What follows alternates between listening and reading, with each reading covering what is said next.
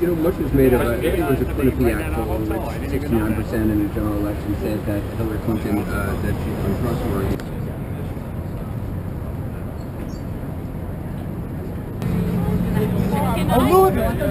Louisville. Talking about that.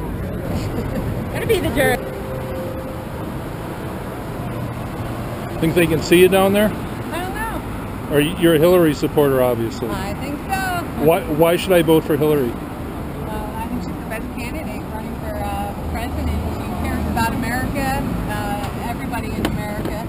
Um, she'll talk about the issues that America needs to, to hear with the environment, women's health, um, uh, measures that help gun violence, our economy. She is an expert in international affairs.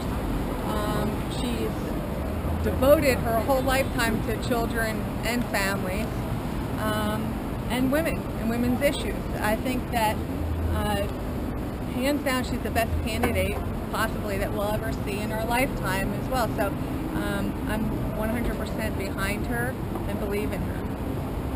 So the, the email thing or Benghazi doesn't faze you whatsoever? No, if you've been watching the news, that has been admitted uh, clearly that that is based on Republican smear attacks. So it has nothing to do. It's same old, same old, the same old that the, the Clintons always go through, and always um, after what is it? Almost now, uh, 150 million that it'll be in false investigations. When that could have been to help poor Americans um, that really need that money, but the Republicans rather uh, spend it on false investigations and building walls around our country instead of helping poor children.